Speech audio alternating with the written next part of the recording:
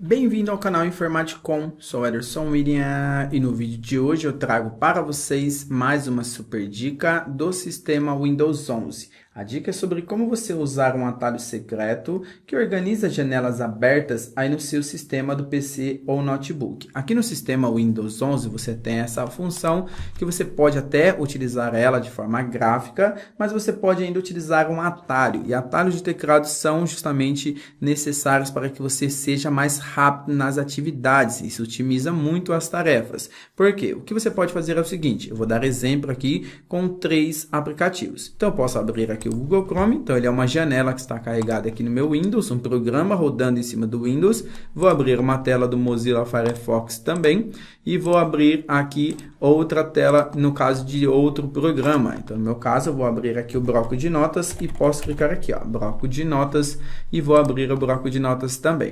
Então nesse exemplo que eu estou mostrando para vocês é que eu tenho essa tela do bloco de notas, uma tela do Firefox, uma tela do Google Chrome. Se eu posiciono aqui nessa parte de de cima, nessa janela aqui em cima que aparece quando eu abro um aplicativo, eu até consigo pousar aqui a parte, parar aqui o mouse nessa, nesse item do meio e ele aparece esses itens. Só que você, se você quer ser mais rápido e ainda ter aqui a descoberta desse atalho que você consegue para chamar aquela janela também e você já organizar, você pode utilizar esse atalho, que esse atalho ele consegue aí chamar a mesma tela pelo Windows, a bandeirinha do Windows e a letrinha Z. Então, o Windows e o Z, ele chama aquela mesma tela, porque às vezes você não está com o programa aberto, você está aqui, ó, nessa tela. Então, o que você pode fazer é justamente você digitar o Windows Z e olha o que acontece. O Windows Z, ele vai trazer aqui para vocês o formato que você quer, ó, para dois aplicativos, para dois aplicativos, um mais largo e um outro mais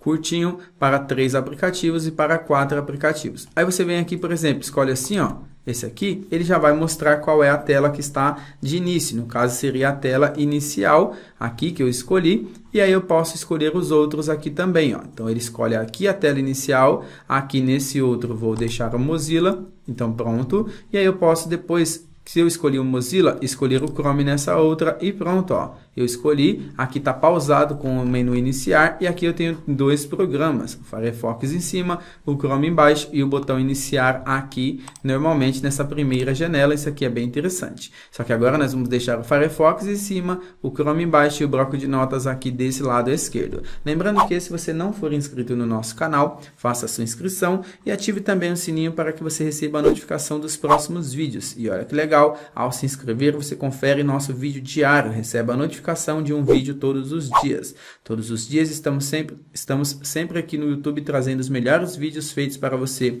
sempre com uma funcionalidade interessante onde você aprende na prática. Então o que eu vou fazer agora é aqui, ó, nesse aqui que ficou a parte da área de trabalho do Windows, eu vou deixar agora, no caso, o bloco de notas. Então eu vou aqui no bloco de notas, estou aqui com o programa aberto, acabei de abrir esse programa e o que eu vou fazer fazer agora é digitar o Windows e Z também e vou colocar ele aqui como esse programa principal do lado esquerdo. Ó. Windows Z, botão esquerdo, pronto. Agora já troquei. O bloco de notas é o meu programa que está aqui do lado esquerdo. Vou até escrever aqui para mostrar para vocês. Ó. Se inscreva, então beleza. Se inscreva no canal eu consigo escrever aqui normalmente e do lado direito fazer uma pesquisa no Firefox, do lado direito fazer uma pesquisa no Google Chrome e pronto. Para depois voltar eles para o tamanho normal, só clicar uma vez aqui nesse botão do meio, eles voltam e ficam todos no tamanho maior, bem simples, bem fácil, bem interessante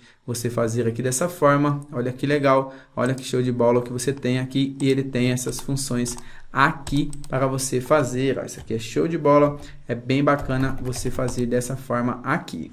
E aqui, pessoal, antes de sair do vídeo, confere aí na tela que vai aparecer a indicação de um super vídeo e também da nossa playlist, onde você escolhe aí, navegando pelas thumbnails, pelos nomes dos vídeos, outros vídeos e você vai aprender muitas funcionalidades sobre navegadores, PC, notebook, impressoras e muitos outros conteúdos bem legais aqui no canal. Continue assistindo e até a próxima!